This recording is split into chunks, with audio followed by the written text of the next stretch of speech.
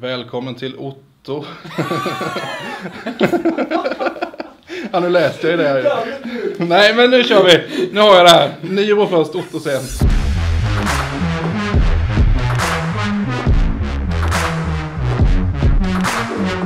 Välkommen till Nybro Otto. Eh, Kan du inte berätta lite om dig själv? Jo, jag kommer från eh, Lenhovda, är 20 år och kommer nu närmast från eh, Växjö och Växjö Lakers. Yes, stämmer att du gick hockeygymnasiet i Växjö? Ja, precis. Jag började i U16 där och sen eh, gick jag in på hockeygymnasiet och spelat där fyra år.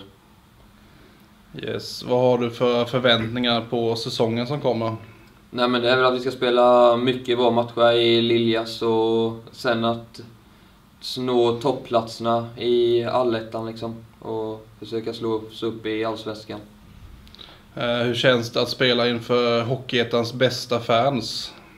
Jo men det är absolut eh, jättekul och eh, en anledning att man verkligen valde Nybro. Vi är verkligen glada att ha dig här. Jag undrar lite, vad gör du när du inte spelar hockey? Nej men det blir väl lite golf när man har tid, annars är det mycket familj, vänner och flickvän. Yes, vad har du för handikapp?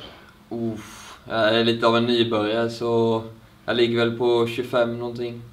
Eh, Ser du fram emot att spela med Strömgren under sommaren eller? Jo men det tycker jag, det är en rolig grabb och eh, han är en väldigt duktig ishockeyspelare så det ska bli väldigt spännande. Yes, tack för att du kom och tog dig tid. Tack!